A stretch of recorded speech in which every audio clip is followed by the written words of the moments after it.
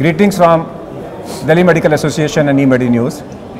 Welcome to our show, Chat with Dr. KK. We have with us Dr. A.S. Soin, who is a Padma Shri awardee, who is a Chief Liver Transplant and Hepatobiliary Surgeon and Chairman of Institute of Liver Transplantation and Regenerative Medicine at Medanta, the Medicity in Gurgaon. Thanks to be in our show. Thank you. My Dr. simple, very rapid fire few questions. Sure. Take home message for small intestinal transplant. Is it a reality? You have done one case, and uh, that means we are now equipped to do that.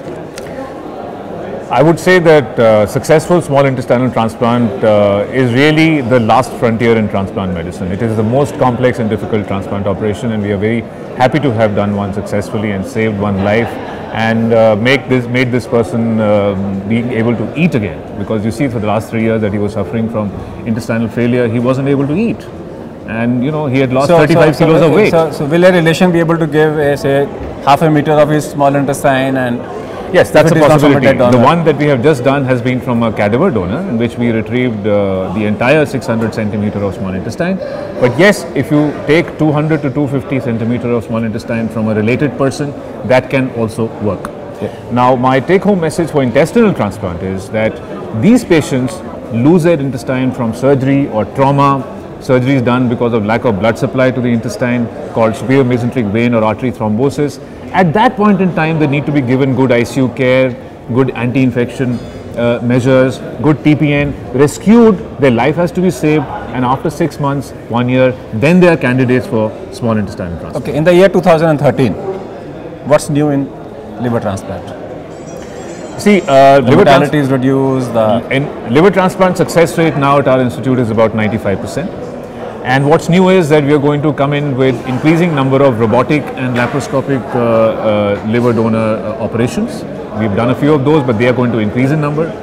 We have done some ABO incompatible liver transplants, and that is also going to increase in number. We've done three cases successfully, and there are only about half a dozen centers in the world that do ABO incompatible transplantation. And the third thing I think is that a swap program where if one family does not have a blood group match donor can be matched with another family and their donors are exchanged. This is going to increase in numbers and increase the number of transplants possible.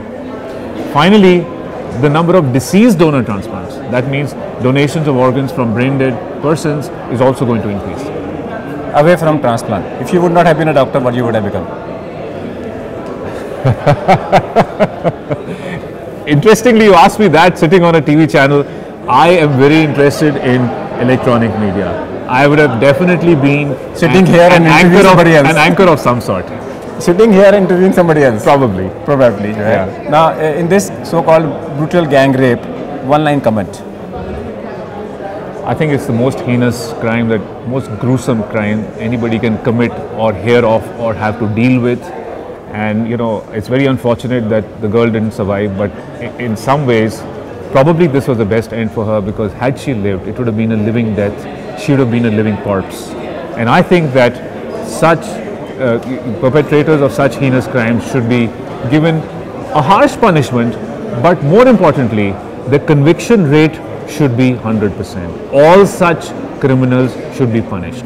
So I don't think you have to have very severe punishment like death sentence, but it should be severe enough to teach them a lesson to prevent more of these episodes from happening and also not let even a single person go scot-free. My last sentence. Do you feel that every police personnel or every police van should have a paramedic with them so that first aid can be provided to the victim there and then?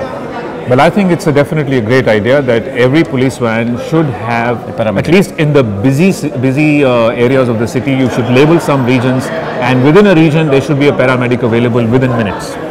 So what Dr. Soin says very clearly that uh, intestinal transplant is a reality in our country and ABO incompatible liver transplant is also a reality in our country. Let's thank to be uh, in our show. you and that's all for today. We'll come back with one more show. Till that, goodbye. Thank you. Thank you.